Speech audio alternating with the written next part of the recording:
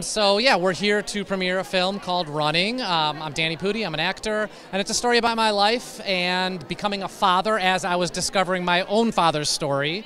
Um, as you mentioned, I have South Asian family, and this is the community where we are from, Chicago as well. So it's nice to be able to premiere at the Chicago South Asian Film Festival and be so supported. And uh, it's a film that I work with Emma, or who is our producer from Hypocrite Productions, and I'll let her speak on her involvement, but they were super helpful. We collaborated with a theater company and producers in New York and a theater company in Los Angeles and San Francisco, and we were able to bring together this cool piece over the last two years.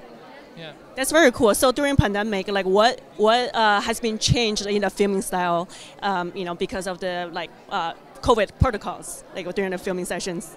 Well, we um, part of our film was set in a theater, and so we didn't have an audience in the theater because, of course, it was COVID, and, and that was part of the design too of the abstract nature of, of the film. Um, additionally, we tried to keep our crew really tight. Um, we made sure everyone had separate hotel rooms. Like there were very, there were specific measures we took to try and reduce the the potential that folks give each other COVID. Um, we had to do a shoot twice because of COVID. Like you know, it was the the producing complexities were abound. Um,